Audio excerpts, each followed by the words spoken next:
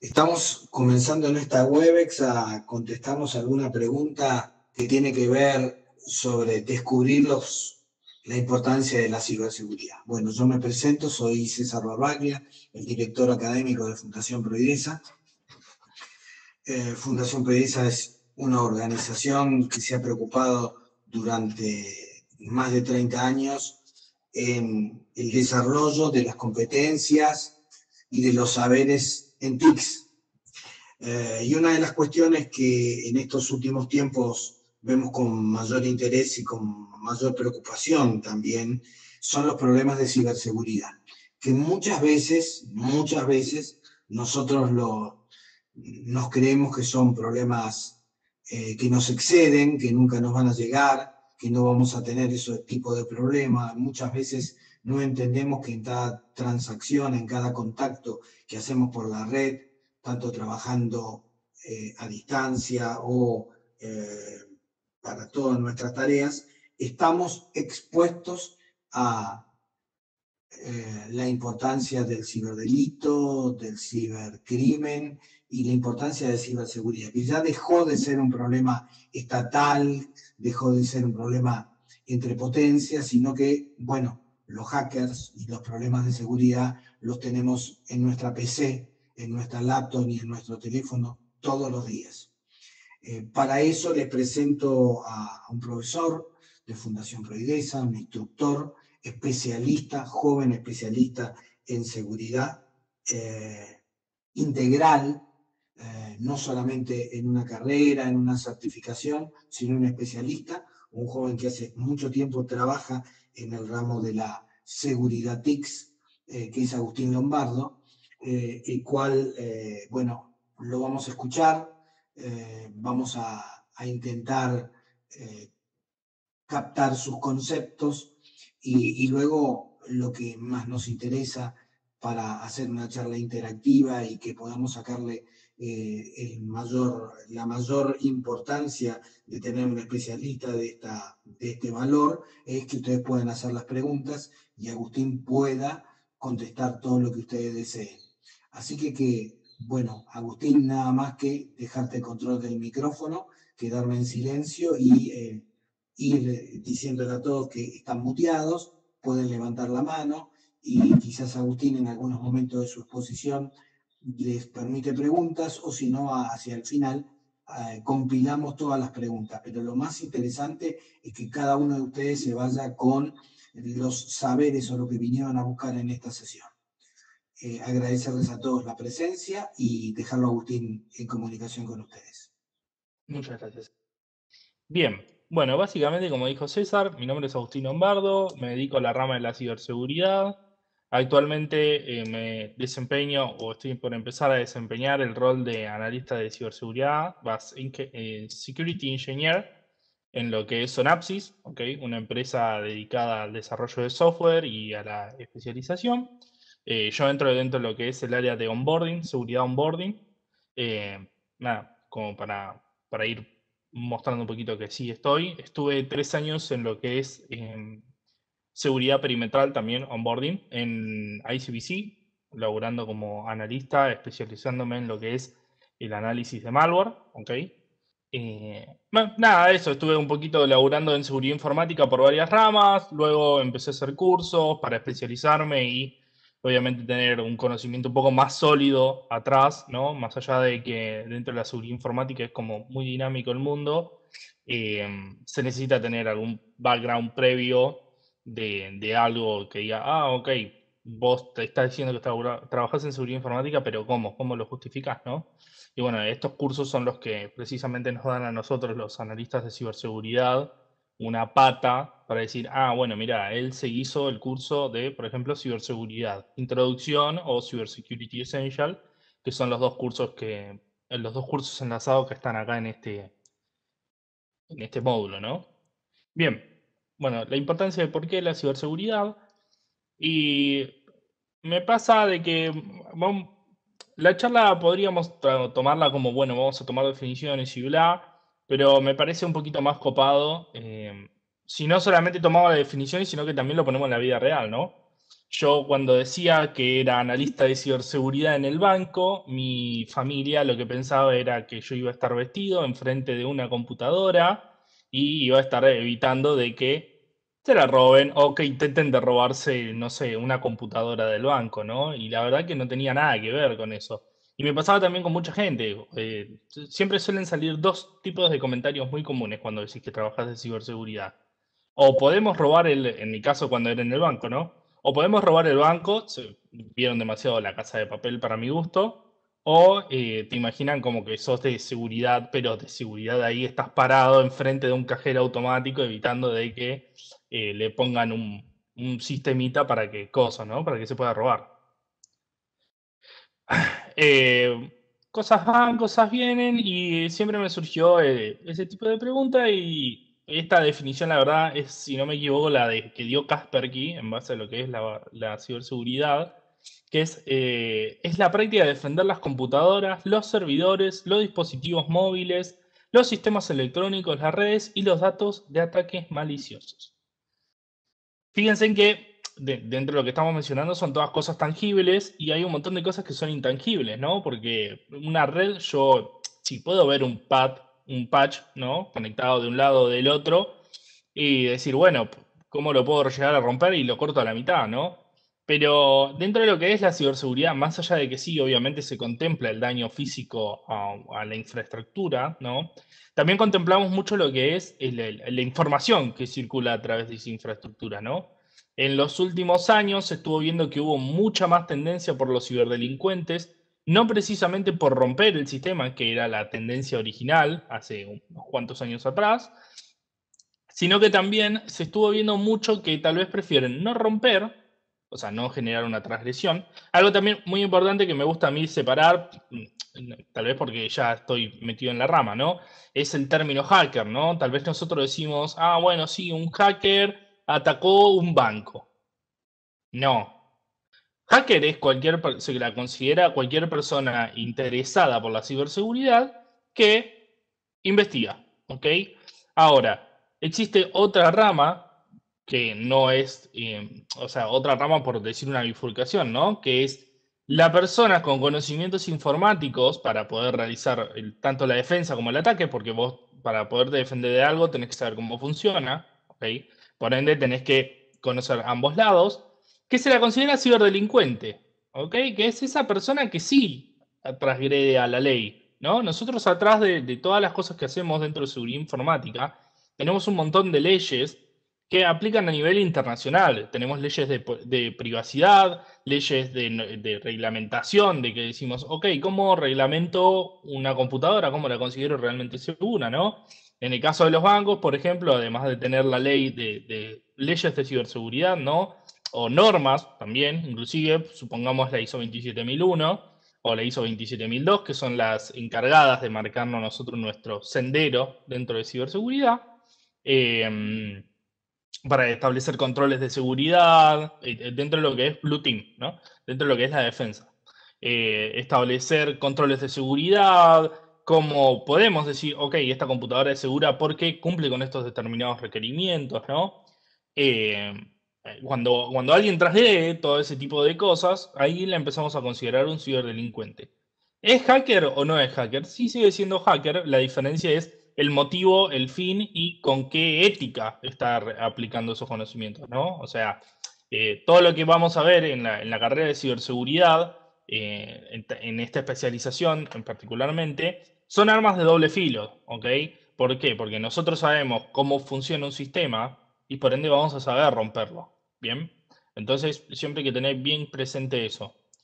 Y bueno, nada, eh, volviendo a lo que era, la, que era la ciberseguridad, ¿no? Que lo decíamos, es, es todo aquello, yo siempre lo intento explicar como de una palabra un poquito más sencilla, ¿no? Es, em, es el origen de la informática, ¿no? Si nosotros le desglosamos la palabra informática, nosotros vemos que tenemos info de información y mática de operaciones matemáticas, ¿no? Entonces, la seguridad informática es la protección de estos sistemas de cálculos, ¿no? Por el lado de la matemática, refiriéndonos a los procesadores, memorias y bla, y la protección a la información.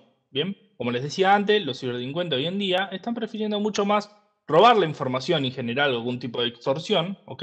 Antes que eh, romper un sistema informático que la verdad que representa un, gran trabajo, pero a fines prácticos es eh, comida para hoy, hambre para mañana, ¿no? Porque, ah, sí, detoné una base de datos de un banco.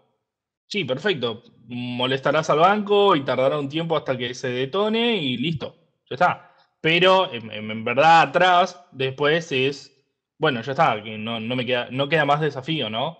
Por eso, por esa el, picor, si quieren decirle, los ciberdelincuentes tomaron esta nueva vía que es, prefiero robar la información, tal vez sí romper alguna que otra máquina, pero para distraer y poder seguir robando información. Hubo un caso hace dos años atrás en un banco, eh, no era argentino el banco, era de otro país, que eh, los ciberdelincuentes generaron un ataque, empezaron a generar lo que nosotros le dijimos humo, ¿ok? En que empezaron a generar una actividad sospechosa para que los analistas precisamente se desviaran de ese conocimiento y en definitiva después estén haciendo otro tipo de trabajo atrás, de transferencias y robando no sé cuánta plata. No me acuerdo si eran 10, 10 eh, millones de dólares que se robaron entre transferencia y transferencia, ¿no?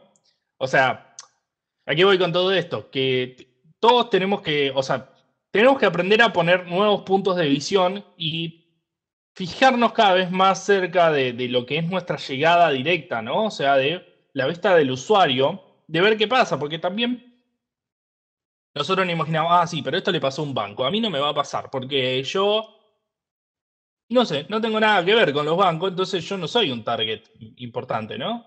Y en base a eso de que piensan mucho que es un target importante, surge esto segundo, que César, estábamos hablando con César mientras armábamos la presentación y digo, podríamos poner un caso de lo que es el phishing, ¿no? Un tipo de ataque y explorarlo y bla.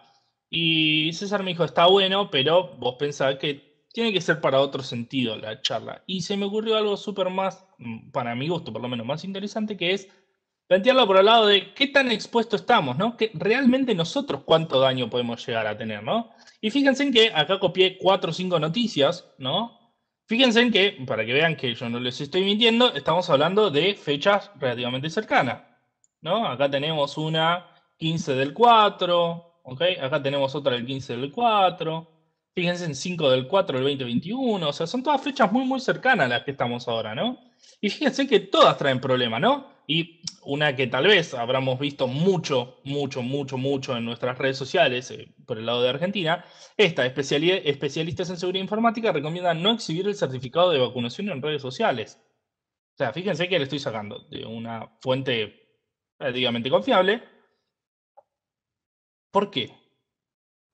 Porque precisamente los ciberdelincuentes están a la espera de, ok, nosotros, los usuarios más vulnerables, no me conviene, no le sirve de nada a él ir y atacar a un banco que tiene un sistema de seguridad recontrafinado, prestándole atención a todos los sistemas de monitoreo posible, cuando la misma gente incluso te puede llegar a dar la información para que vos seas un atacante, ¿no? Esto es lo importante de estudiar ciberseguridad. Nosotros, analistas de ciberseguridad, o mínimamente gente que tiene conocimiento de la ciberseguridad, evita este tipo de exposición, ¿ok? ¿Por qué le evita? Y porque sabe que va a tener un problema a corto o mediano plazo. ¿ok? Yo supongamos que suba mi certificado de vacunación, ¿bien? En ese certificado, si bien hay datos públicos, ¿ok? Se pueden hacer de una manera incluso aún más fácil la obtención de esos datos. ¿ok? Antiguamente existían páginas por las cuales se podían obtener información eh, similar al DNI, eh, dónde vive una persona o dónde fue registrado por lo menos según el, padrón argentino y demás.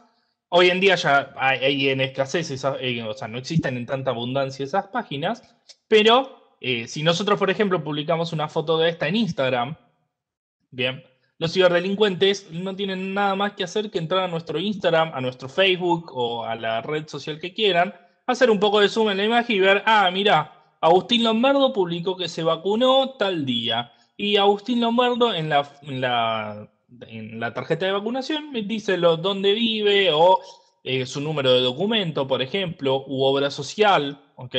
Y con todos esos datos, un ciberdelincuente y un poquito de psicología, ¿no? dentro de la rama es lo que se conoce como ingeniería social, ¿no?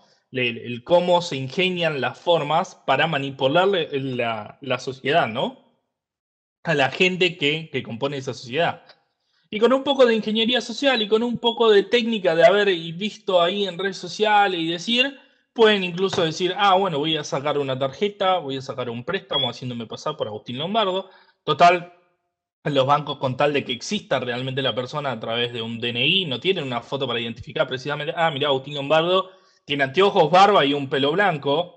No, ellos con tal de que así, mira, el número de documento es válido dentro del, del RENAPER, hay otros controles más que existen, no es que solamente existe ese control, pero a, una visión relativamente fácil, o por ejemplo, algún tipo de caso en que el ciberdelincuente también está vinculado con el banco, que ha pasado en la historia, y ustedes seguramente me lo van a poder eh, afirmar más que yo, ¿no?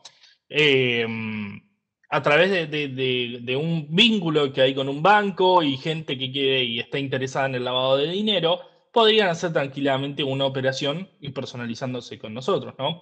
Otro caso que también podemos recordar dentro, considerándolo dentro de lo que es la seguridad de la información, ¿no? Ya desprendiendo de lo que es la información propia en los dispositivos, sino también información a nivel general, es, seguramente se acordarán de hace poco que hubo una oleada de ataques eh, a las personas mayores que lo llamaban y decían, hola abuela o hola mamá, mirá, me acaban de robar el teléfono, eh, te estoy llamando por este otro número porque necesito que me, des plata para esto, para lo otro. Y después iba el... ¿Cómo? El famoso cuento del tío. Tal cual, tal cual, el famoso cuento del tío.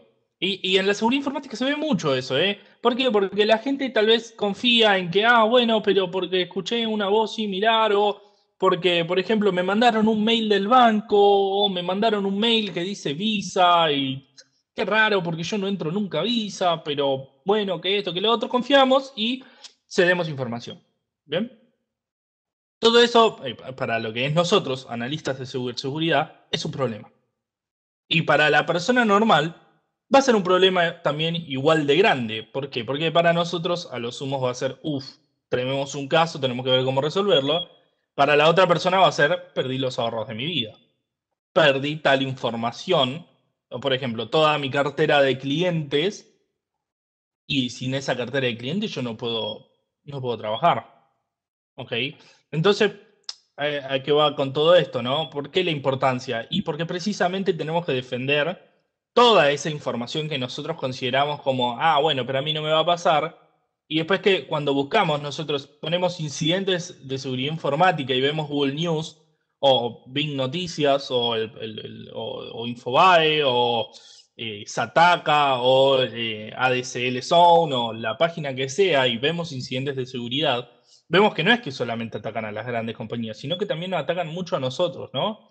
Le interesa al ciberdelincuente la información que nosotros generamos para utilizarlo en otros medios, y medios que incluso, yo en el curso obviamente los comento, pero que decimos, no, es imposible que una persona tenga esta perversidad para compartir este tipo de información, ¿no?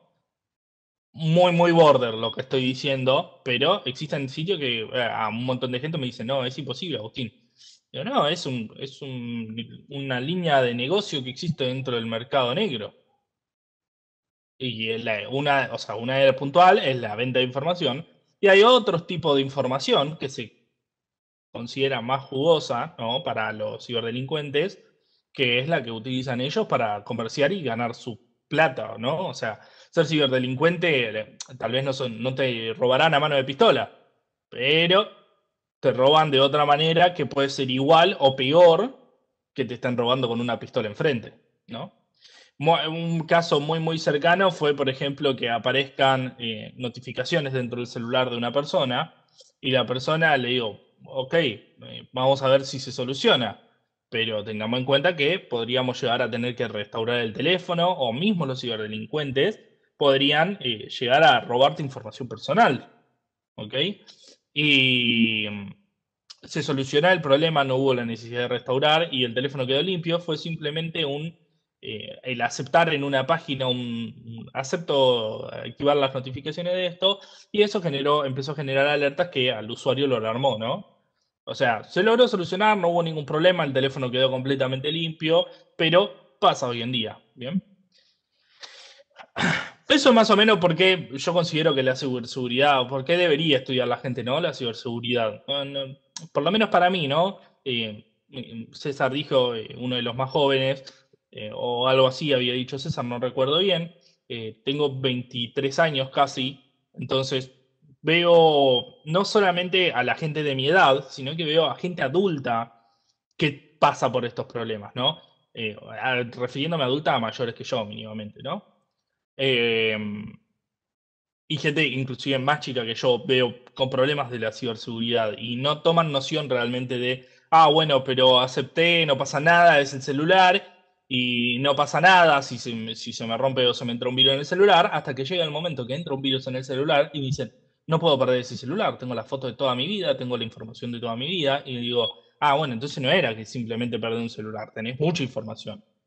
Y esa información vale tanto para vos como para la persona que te está realizando el ataque, ¿no?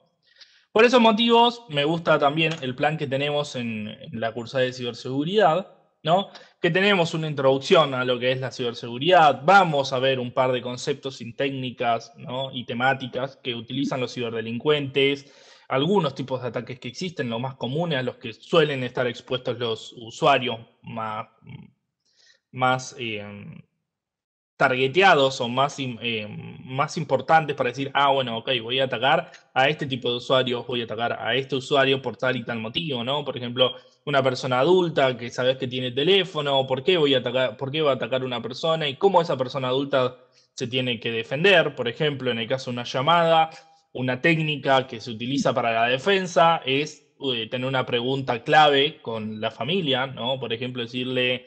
Eh, ok, pero ¿te acordabas la patente del auto o algo por el estilo? Entonces, de esa manera, la persona adulta tiene un, factor de autenticación, si se le quiere decir, realmente que sea el, familiar, ¿no? Que lo está llamando.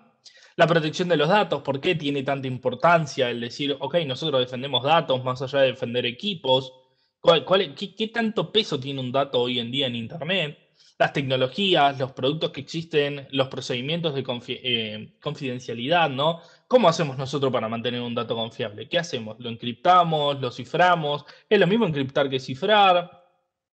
¿Lo guardamos en un servidor que esté acá en, en mi casa? ¿Lo guardo en un servidor que tenga un doble sistema de backup? ¿Ok? ¿Qué es la criptografía? ¿Ok? ¿Por qué se nombra tanto siempre la criptografía? No solamente en lo que es en la criptomoneda hoy en día, que es muy, muy famoso, sino también porque se nombra en los sistemas la criptografía. ¿Cuál es la función? ¿Qué es el candadito que me aparece arriba cuando yo entro a la página del banco? Que a mí me decían, si me aparece el candadito, el sitio es seguro. ¿Ok?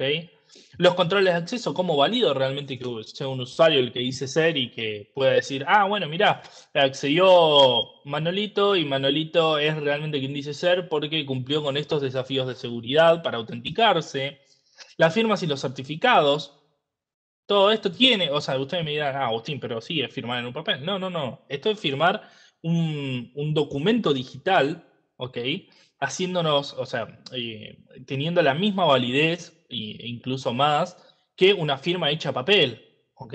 Una firma digital a nosotros nos, nos da algo que a diferencia del papel no se ve, que es eh, el no repudio. Yo no puedo decir que no firmé ese documento, porque se entiende que solamente yo tengo la clave para firmar ese documento.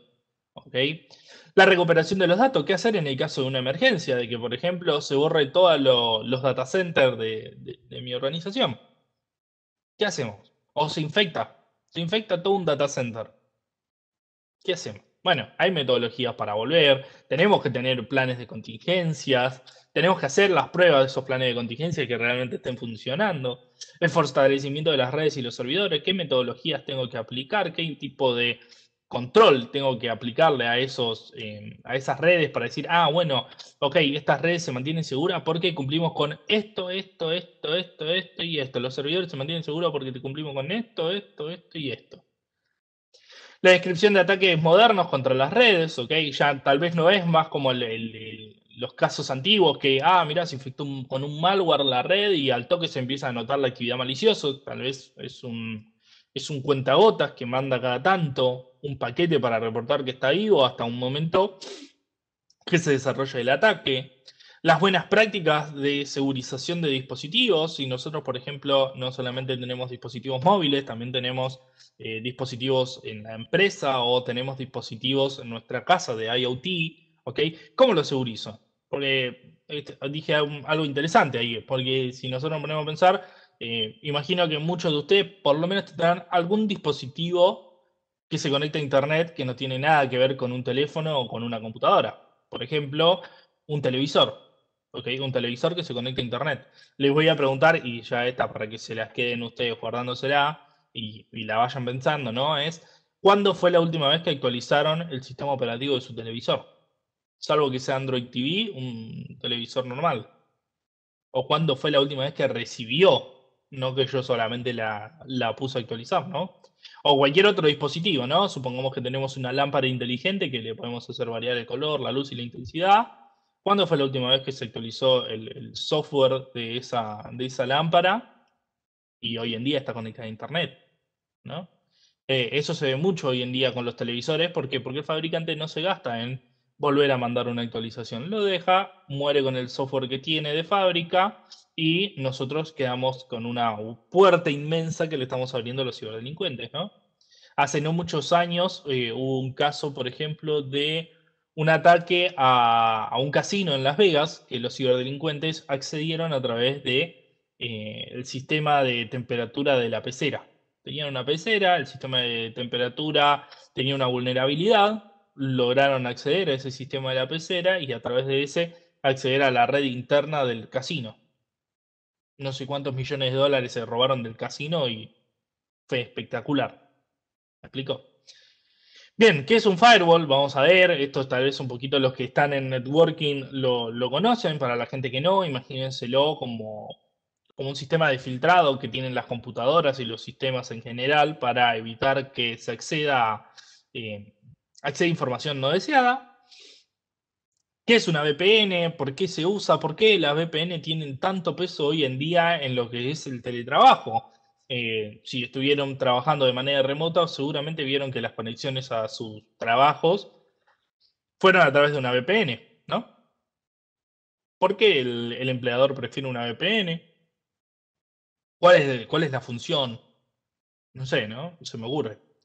Y por último, los test de seguridad, ¿no? Cómo nosotros podemos probando todas las cosas que estamos viendo y obviamente eh, ponemos a práctica, ¿no? O sea, ah, bueno, mira, Agustín me dijo que si yo hago esto, o por ejemplo, en el curso vi que eh, puedo crear yo una política del firewall, ¿no? Para evitar que, que mi sistema infecte un determinado tipo de protocolo. Ok, me puedo poner con la computadora y probar a ver si realmente funciona, o con una máquina virtual que es provista en el curso, ¿ok?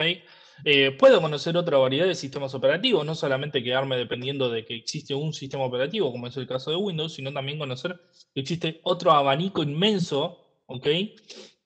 De sistemas operativos que también pueden ser usados para la ciberseguridad. ¿Me explico? Todo eso, nada, es lo que vamos viendo en el curso, vamos a ir jugando también. Yo le digo jugar a lo que es el, experimentar, ¿no? El estar ahí metiendo mano realmente y salir lo que es la teoría solamente y Puedes decir, ah, mira, yo esto lo vi, esto lo entiendo, o esto, mira, vamos a abrir una máquina virtual y vamos a ver cómo se ve, por ejemplo, un protocolo.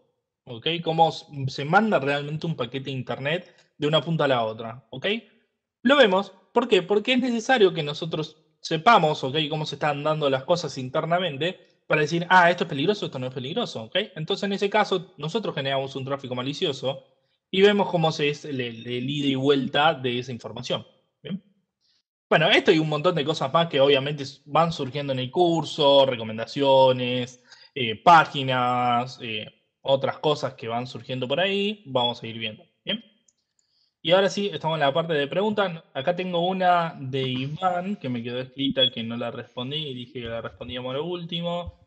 ¿Con qué base puedo arrancar a estudiar? Eh, en el curso este de ciberseguridad no se necesita base. ¿Ok? Mínimamente con ganas de querer aprender y un poquito de experimentación propia, de decir, ah, bueno, me animo a toquetear en la computadora, alcance y sobra para arrancar. ¿Qué tal? Buenas tardes. Sí, era mi pregunta. Em, más que nada era porque, bueno, eh, tenía entendido que hacer el CCNA 1, 2 y 3 eh, ayudaba mucho porque, bueno, saber a través de las redes informáticas ayuda mucho, supongo, a lo que es esto mismo. Sí, y, sí. Y bueno, eh, no sé, alguna recomendación o algo para ponerme a estudiar algún tema en específico, algo que me pueda ayudar para empezar. En, en, lo que es eh, Cybersecurity Essential, em, no es tanto, o sea, no se necesita con tanto requerimiento lo que es eh, CCNA, tal vez más para lo que es CyberOps Associate, que es la, la, continuación de esto, conviene, pero más que nada por los temas que tal vez se avanza a una velocidad mucho más rápida, no sé. Ahora estamos con los chicos de CyberOps, por ejemplo, viendo dos temas por día. Entonces es como un poco más pesado y se necesita otro, otro, otra dinámica, ¿no? Pero acá en este caso podrías entrar así raso que no hay ningún problema. Si tenés la base de los SNA, mejor, porque tal vez lo podés ir relacionando con otros procesos que ya estuviste viendo antes y que suman, obviamente, ¿no? Pero no, no es necesario. Claro. En mi caso, yo, eh, perdón si... Sí, eh, en mi caso, yo quería estudiar ciberseguridad y, bueno, la verdad que me interesó mucho y, bueno, la verdad que me habían recomendado estudiar los SNA, que claramente bueno, es una buena opción por lo que he dicho, que estudian el SNA 2 y está bien. Y bueno, eso más que nada era para, eh, para preguntar, a ver, porque también eh, me, gusta estudiar por mi, por mi propia cuenta, digamos. No sé si hay una recomendación o algo que No, em, a ver, el, el, curso este de ciberseguridad vos te va a ayudar a poner en orden todas tus ideas cuando estés buscando. Entonces va a decir, ah, ok, yo sé hasta acá, y empiezo a buscar a, partir de ese nivel, porque ¿qué pasa en, ciberseguridad? No existe una carrera puntual que a vos te diga como tal vez, eh, yo sé, existe la licenciatura en redes en la Universidad de Palermo o ingeniería en sistema que es salir programador. Eh, más allá de que seas ingeniero en sistema, ves muchísimo más carga de programación. Dentro de lo que es seguridad informática, realmente no existe una carrera que diga, ah, listo, hago esta carrera acá en Argentina o en cualquier otra parte del mundo y soy seguridad, soy analista, soy ingeniero, soy bla en, seguridad informática. Bien. Entonces, lo que el curso a vos te da es, bien, dentro de toda la información que existe hoy en día en Internet, ¿cuál es la que me sirve a mí? ¿Hasta qué punto puedo llegar a entender? ¿Me explicó? Porque si te pones a andar, vas a ver que hay un montón de información. Yo cuando me empecé a especializar en lo que es el análisis de malware, empecé a ver una cantidad asquerosa de información todo sobre análisis de malware y tuve que buscar un punto y decir, ok, arranco por acá y después voy subiendo de a poco porque es muchísima información. O sea, tal vez de un mismo problema, tenés una parte que es eh, introducción, otra parte que es un poquito más avanzada y otra que es senior. O sea, que tenés que tener años de experiencia para leer y decir, ah, ok, esto se refiere a esto, esto y esto. Ok, si tal vez vos lo lees ahora, es como, Sí, entiendo, pero se me pierde mucho la información de, la que estoy leyendo realmente, ¿no? obviamente después la vas a aprender, pero vas a tener que pasar por un trabajo un poquito mayor para terminar de adaptarla, ¿no? Con un curso así vos lo que haces es, ah, ok, ya entiendo bien todas las bases de seguridad informática, entonces vos ya tenés la parte de introducción, lo único que te falta es, ok, yo me quiero especializar en esto, entonces ya empiezo a leer puntual información sobre eso y la información que voy leyendo me es como más, eh, más jugosa, ¿no? Le saco más provecho. ¿Me explico? Más o menos lo que voy. Sí, sí, perfecto. Está bien, gracias. No, no hay de qué. Bien, a ver. Eh, sí. ¿Qué tal? Buenas tardes. ¿Cómo va? ¿Cómo va? Bien. Quería consultarte más que nada porque estoy buscando en internet. Eh, yo hice el módulo 1 y el 2 de SMA y en realidad no hay mucha información o hay un poco contradictorio la diferencia entre, por ejemplo, CCNA Security, Cyber Security, CyberOps. Bien. Eh, ¿Me dejas introducirme un segundito, Agustín, y después continuás? Eh, Cisco desde hace un año eh, tiene dividida Cisco Networking Academy en tres líneas importantes. La del CCNA, que comienza con CCNA, con ENCO, con ENARSI, y en un futuro esperemos tener la certificación también de CCIE, que es ingeniero en redes. Luego el mundo de la seguridad, en la que tiene tres niveles. Este el introductorio de Intro y Network Esencias, el segundo, que antes se llamaba CyberOps y ahora se llama CyberOps Associated, que es el segundo que tiene una certificación, la primera certificación en seguridad, y eh, un tercer nivel, no, no por más avanzado, sino que hoy es SMA Security, que se está actualizando, que es en inglés, eh, y que, eh, que, va a tener una certificación tipo CCNA y en este caso tiene que ver mucho más con los problemas de seguridad en redes y no la concepción amplia que acá estamos hablando de la ciberseguridad. El tercer mundo es las redes programadas por software. Para eso, Fundación Progresa ya ha comenzado con Cisco a dar el primer curso de Fundamental Python, luego tendrá eh, aplicaciones y luego terminaremos en DevNet, en desarrolladores de software para redes. Estos son los tres mundos.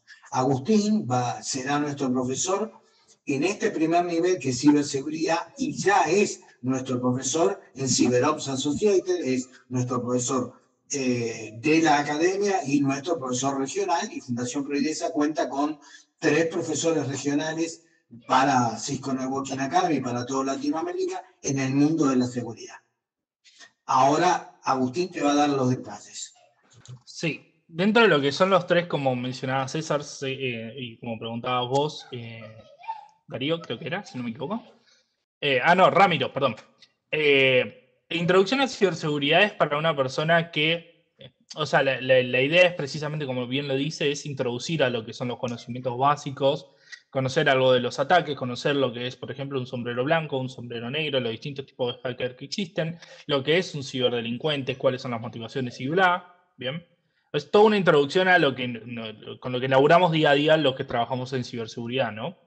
Después lo que es CyberOps Associate, ya es puntualmente para que vos seas un analista de lo que se conoce como un SOC, un centro de operaciones de seguridad. Es muy similar a un NOC, pero la diferencia es que nosotros en, un SOC analizamos lo que son las alertas de ciberseguridad propiamente, ¿bien? ¿Qué pasó con una instrucción en un firewall? ¿Por qué se modificó una política? Eh, tal usuario tuvo un privilegio que no debería de tener, ¿bien? Y por último, lo que es un CCNA, em, CCNA Security, que es otra rama, ¿ok?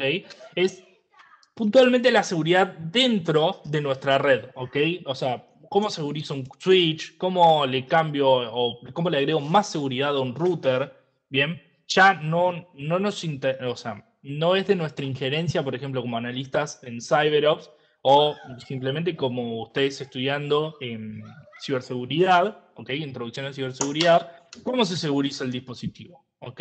Porque tu rol es analizar qué está pasando a través de ese dispositivo. ¿Me explico?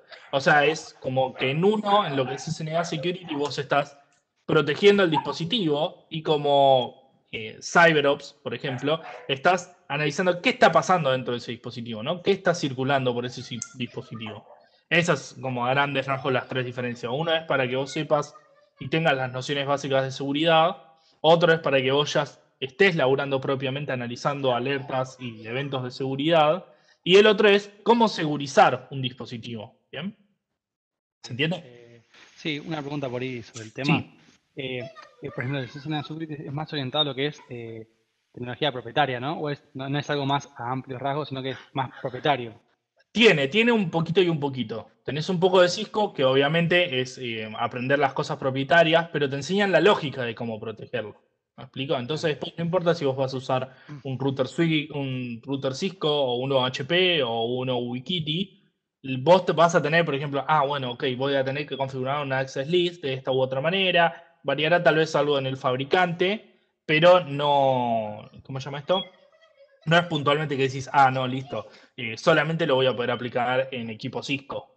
Que esa es la magia que tiene en verdad Cisco, que arma las cosas para que a vos te quede la información y que lo puedas seguir aplicando en el día a día. No es solamente decir, ah, bueno, si yo no tengo este router Catalyst, listo, no lo puedo hacer. No, no, no. no. Chico te dice, acá tenés toda la información, yo te la enseño con mis productos, obviamente, o sea, cómo lo harías en mis productos, pero la información es libre, ¿ok? Eh, la, puedes aplicar con, conmigo, con otro y con otro. Vas a tener que arreglártela vos para ver después con otro producto de cómo se hace. ¿Ok? Pero en líneas generales vos ya vas a saber, ah, bueno, si yo tengo un router nuevo, no le tengo que dejar la password por defecto, tengo que configurarle algún tipo de cifrado, tengo que hacer esto, tengo que hacer lo otro. ¿Me explicó? excelente, muchas gracias. No, no hay de qué. Acá, eh, Fabiana, ¿cuánto dura el módulo? César, eh, un semestre, si no me equivoco, ¿no? Un poquito menos en este caso de ciberseguridad. Son 42 horas así que, que son cuatro meses. Sí, más o menos. Sí, sí. Correcto. CyberOps sí dura un semestre y CCNA Security sí dura un semestre. Acá tenemos intro de 12 y Network Essential de 32, pero el módulo de ciberseguridad que hemos compilado con exámenes, con máquinas virtuales, con trabajos prácticos, etcétera, con todo esto que Agustín les cuenta como para divertirse, son 42 horas. Un poquito más de 10 clases. Bien. Eh, acá también me pregunta, ¿hay que tener idea o base de redes? Y en este caso no tanto. Si tenés mejor, si no, lo necesario lo vamos aprendiendo en el curso. ¿Ok? Gonzalo, bueno, yo ya tengo hecho la introducción a ciberseguridad y Cybersecurity Essential realizados. Y estoy haciendo CCNA. ¿Qué me recomiendas para seguir? Y si ya hiciste todo eso, te recomiendo que hagas Associate. ¿Ok? Eh, me parece lo más lógico. Eh, CyberOps Associate. CyberOps Associate, exactamente. Ya que estás a un paso más eh, para poder seguir profundizando, ¿no? Eh, para comentar desde la introducción hasta la final de la carrera. Fabiana, no entendí tu pregunta final. Y por último, Damián o Linux. Eh, imagino que debe ser conocimiento sobre Linux. Eh, no, no es necesario. Lo justo, o sea, todo lo que vamos a necesitar para que ustedes, o sea, es un curso que no se necesita previo conocimiento. ¿Ok? Entonces, si ustedes saben, joya, porque suma, es mucho más rápido y mucho más fluida la clase. Pero si no lo saben, no hay ningún problema, lo vemos ahí. ¿Ok? No sé, César, si vos querés ir agregando. No, no, no, no, a mí me, pareció perfecto. Creo que lo que vos acabas de decir es que cualquier curso de Cisco es, los contenidos son neutros, que no estamos eh, capacitados para utilizar esa sola tecnología, sino tenemos los contenidos o los, los conocimientos centrales para relacionarnos luego con cualquier tecnología. Esa es la gran diferencia de Cisco Networking Academy. No es eh, un curso o una certificación, en el caso de tenerla, de productos solamente, sino de conocimientos generales. Eso es lo que ha hecho grande a través de casi 25 años a Cisco Networking Academy. Por eso es que también se ve mucho en las búsquedas que piden CCNA, que la persona tenga un conocimiento de CCNA, no porque precisamente usen producto Cisco, sino por la base que te deja, ¿no? De que, ah, ok, conozco de punta a punta cómo funciona toda la red con, con CCNA 1, 2 y 3. En ese caso, por ejemplo, ¿no? En, un futuro ya vamos a ver que van a solicitar Associate, eh, Cyber Associate, para poder decir, ah, bueno, laburo en un SOC porque tengo todas las nociones básicas de seguridad. Quería saber si es recomendable seguir en CCNA o realizar los cursos referidos a seguridad informática, porque el CCNA no me parece nada mal, pero es más directo creo que estos cursos en concreto. Eh, es más directo en cuanto a networking, pero no en cuanto a seguridad, porque vos estás viendo dos ramas distintas, ¿ok? Si bien tal vez se pueden llegar a confundir, son distintas, ¿ok? Entonces, en uno vas a ver puntualmente, por ejemplo, cómo es el análisis de una alerta, qué tipo de programas se utilizan, cuáles son los pasos que yo tengo que seguir para poder analizar un incidente de ciberseguridad, mientras que en lo más probable es que vos veas... Eh, ok, cómo configuro una red, cómo funcionan los protocolos de red, qué tengo que tener en cuenta para poder hacer tal o cual cosa. ¿Bien? ¿Me explicó? Son cosas distintas. Tal vez a, grandes rasgos parecen similares, a muy, muy grandes rasgos, pero si vos te pones a ver los dos planes de estudios, son muy distintos. ¿Ok? y Agustín, yo creo, yo creo lo siguiente. Hoy la seguridad es transversal al mundo de las TICs. No solo los ingenieros en redes, sino todas las personas tienen que tener algún conocimiento en ciberseguridad. Y aparte dentro de lo que es ciberseguridad, es una rama bastante rara porque se necesitan muchas, muchos perfiles que se estén dando en conjunto para que vos puedas eh, ser analista, ¿no? O sea, vos tenés que saber sobre redes, tenés que saber sobre sistemas operativos, tenés que saber sobre programación.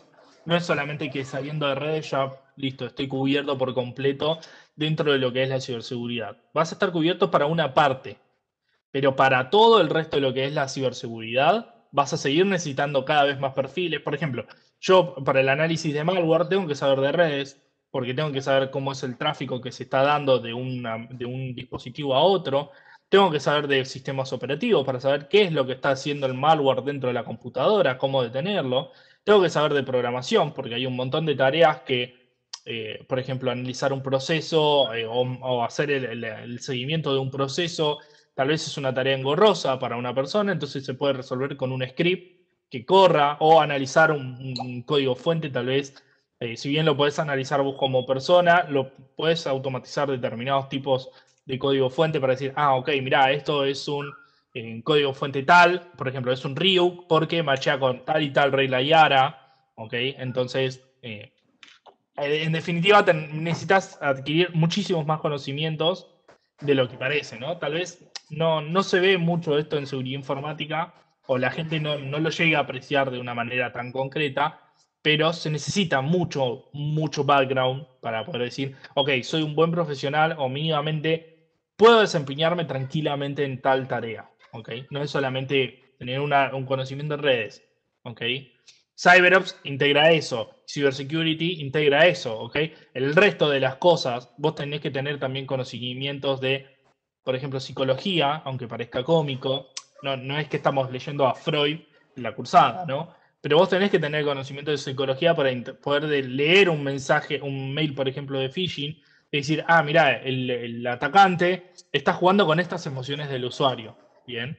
Y vos poder, obviamente, si estás trabajando en una organización, decir, ah, bueno, si estás jugando con estas emociones, tengo que alertar a mis usuarios de, miren, no abran este phishing o esténse atentos de este tipo de mensajes que hace que ustedes sientan estos tres tipos de emociones, ¿no?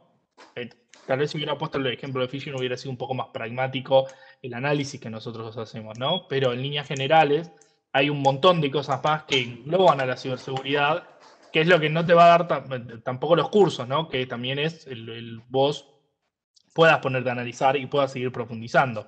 Cisco lo que está haciendo ahora con la parte de DevNet es poder agregar otra pata más dentro de la que falta para ciberseguridad, que es la de programabilidad. Bien. Y espero que en algún día, algún día Cisco agregue una pata que sea sistemas operativos, por ejemplo, más allá de lo que es em, propiamente seguridad. Bien. ¿Por qué? Porque para que nosotros podamos hacer un análisis, tenemos que contemplar todas las variables y todos los datos que más podamos recibir, ¿bien? Y para que vos poder contemplar esas variables, tenés que entender lo que estás leyendo, ¿bien? Entonces, CCNA sí te da una vista por arriba de lo que es redes, ¿ok? Vos vas a saber cómo funciona de punto a punta. Ciberseguridad te va a dar el expertise para que vos puedas analizar y entender lo que estás analizando, ¿ok? ¿Qué tengo que buscar ahí? Porque yo puedo ver un montón de logs de navegación y. Sí, mirá, estoy viendo que van paquetes por FTP, por HTTP y. Pero no entiendo qué tengo que ver, ¿bien?